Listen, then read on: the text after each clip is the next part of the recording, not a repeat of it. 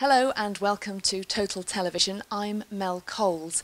Today we're at Carriers World and joining me now is Ruth Pickering, who's Managing Director of Strategy at BT Wholesale. Now, Ruth, you've just been talking about growth in turbulent times. How challenging is it at the moment? I think the first thing to say about turbulent times is that people will associate that comment with the recession that we've currently been in globally over the past couple of years. And I think for carriers, actually, we've had a, quite a turbulent market. It's been quite tough for a long time in terms of the erosion we've seen of our existing portfolio, the trends towards IP traffic.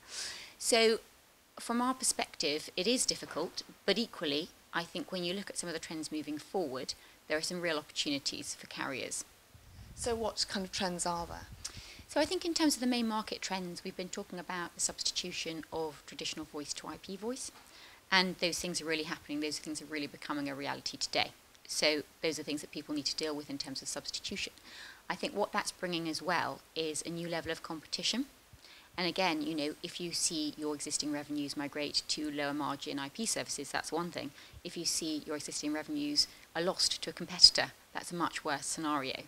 Um, I think there's also a huge amount of market disruption. So some newer entrants, so over the top players, people who don't have to maintain a very expensive and costly network infrastructure. So is there room for growth? If so, whereabouts? So from our perspective, yes, I think absolutely. I think one of the key reasons that we're optimistic about growth is really around the consumption of content. So if you consider the usage of content for the average adult, so you'll spend 44% of your time actually consuming services that are provided by our industry, and that's huge, and that will that will increase further.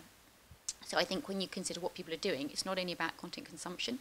We're also seeing usage across multiple devices at the same time. So that is set to grow and grow, and there is therefore dependence on us as, a, as an industry and as a sector to very specifically deliver against that. So there's growth in that space, and I think also as people move to IP services, there's the substitution possibly of your traditional revenues, but there's also layers of value that you can create in that world in terms of hosted IP services that actually mean that overall it can be a particularly profitable area.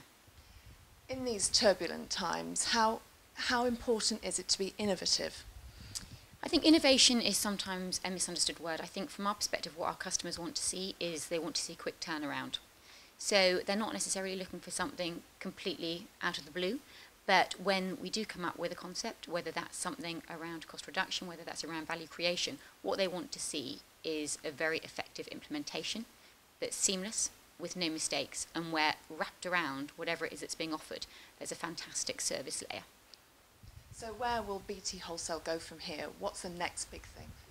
So I think what we're seeing is a huge amount of growth in our IP portfolio. So whether that's IPT or whether that's SIP trunking, whether that's our interoperability, whether that's our hosted services, we're also seeing a huge growth internationally.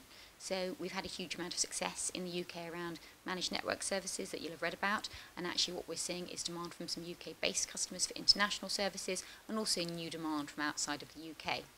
So across a range of areas. So the user at home, what will they see any different? So I think one of the key things about the user at home is that obviously we are a wholesale provider, but interestingly we have about 4.2 million end users on our white label managed services platform who would be consumers at home.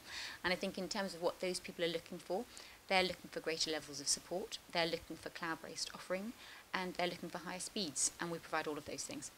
Okay, Ruth Pickering, thank you very much.